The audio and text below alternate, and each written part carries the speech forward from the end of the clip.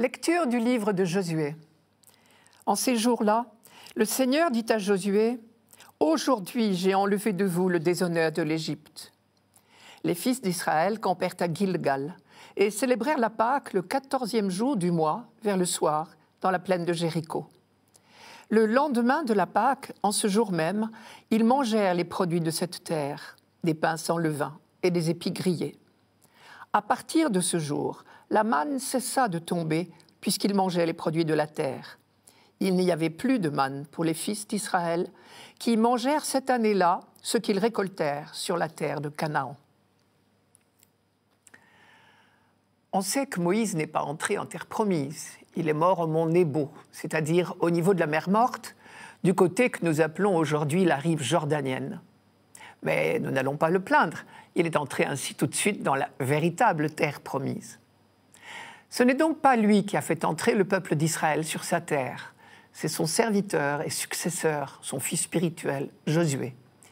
Et tout le livre de Josué est le récit de cette entrée du peuple en terre promise, depuis la traversée du Jourdain. S'il a fallu traverser le Jourdain, c'est parce que les tribus d'Israël sont entrées dans le pays par l'Est. Ceci dit, la Bible ne fait jamais de l'histoire pour de l'histoire. Ce qui l'intéresse, ce sont les leçons de l'histoire. On ne sait pas qui a écrit le livre de Josué, mais l'objectif est assez clair. Si l'auteur du livre rappelle l'œuvre de Dieu en faveur d'Israël, c'est pour exhorter le peuple à la fidélité. Dans le texte d'aujourd'hui, c'est plus vrai que jamais. Sous ces quelques lignes un peu rapides, c'est un véritable sermon qui se cache. Un sermon qui tient en deux points. Ce qu'il ne faudra jamais oublier, c'est premièrement, Dieu nous a libérés d'Égypte. Deuxièmement, si Dieu nous a libérés d'Égypte, c'était pour nous donner cette terre, comme il l'avait promis à nos pères. La grande leçon, c'est que nous recevons tout de Dieu. Et quand nous l'oublions, nous nous mettons nous-mêmes dans des situations sans issue. Ici, dans notre texte de ce dimanche, l'auteur insiste sur la Pâque. Vous avez entendu, ils célébrèrent la Pâque le quatorzième jour du mois vers le soir. La célébration de la Pâque avait marqué la sortie d'Égypte et le miracle de la mer Rouge. Cette fois-ci, la nouvelle Pâque suit l'entrée en terre promise et le miracle du Jourdain. Ces parallèles sont évidemment intentionnels. Le message de l'auteur, c'est que d'un bout à l'autre de cette incroyable aventure, c'est le même Dieu qui agissait pour libérer son peuple en vue de la terre promise. La méditation du livre de Josué suit de très près celle du Deutéronome. D'ailleurs, au fait, Josué, ce n'est pas son nom, c'est un surnom donné par Moïse. Au début, il s'appelait simplement Oshéa, ou Osée si vous préférez, qui signifie il sauve. Son nouveau nom, Josué Yehoshua, contient le nom de Dieu. Il signifie donc plus explicitement que c'est Dieu et Dieu seul qui sauve. Et effectivement, Josué a bien compris que ce n'est pas lui-même, pauvre homme, qui seul peut sauver, libérer son peuple.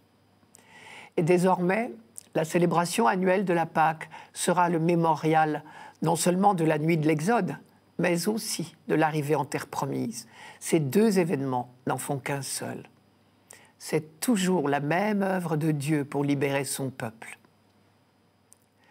La deuxième partie du texte d'aujourd'hui est un peu surprenante, tellement le texte est laconique. Apparemment, il n'est question que de nourriture. Mais là encore, il s'agit de beaucoup plus que cela. Je cite, Le lendemain de la Pâque, ils mangèrent les produits de cette terre, des pains sans levain et des épis grillés, et à partir de ce jour, la manne cessa de tomber, puisqu'ils mangeaient les produits de la terre. Il n'y avait plus de manne pour les fils d'Israël qui mangèrent cette année-là ce qu'ils récoltèrent sur la terre de Canaan. Ce changement de nourriture est significatif. Il fait penser à un sevrage. Une page de l'histoire est tournée, une nouvelle vie commence. On dit quelque chose d'analogue pour les enfants petits il passe progressivement, sur le plan de l'alimentation, de ce que l'on appelle le premier âge à un deuxième, puis un troisième et un quatrième âge. Eh bien, ici, on a un phénomène analogue. La période du désert est terminée, avec son cortège de difficultés, de récriminations, de solutions miracles aussi. Désormais, Israël est arrivé sur la terre donnée par Dieu. Il ne sera plus nomade, il va devenir sédentaire. Il sera un peuple d'agriculteurs. Il mangera les produits du sol. Peuple adulte. Il est devenu responsable de sa propre subsistance. Autre leçon, à partir du moment où le peuple a les moyens de subvenir lui-même à ses besoins, Dieu ne se substitue pas à lui. Il a trop de respect pour notre liberté. Mais on n'oubliera jamais la manne et on retiendra la leçon. À nous de prendre exemple sur la sollicitude de Dieu pour ceux qui ne peuvent pas, pour une raison ou une autre, subvenir à leurs propres besoins. Le Targum du livre de Deutéronome, c'est-à-dire la traduction en araméen, qui était lue dans les synagogues à partir du VIe siècle avant notre ère, parce que de nombreux juifs ne comprenaient plus l'hébreu. À propos de ce texte de Deutéronome, le Targum dit très bien Dieu nous a enseigné à nourrir les pauvres pour avoir fait descendre le pain du ciel pour les fils d'Israël. Sous-entendu, à nous d'en faire autant. Pour finir, ne l'oublions pas. En hébreu, Josué, Jésus, c'est le même nom. Les premiers chrétiens ont évidemment fait le rapprochement. Et du coup, la traversée du Jourdain, entrer en terre promise, la terre de liberté, faisait mieux comprendre le baptême dans le Jourdain. Il signe notre entrée dans la véritable terre de liberté.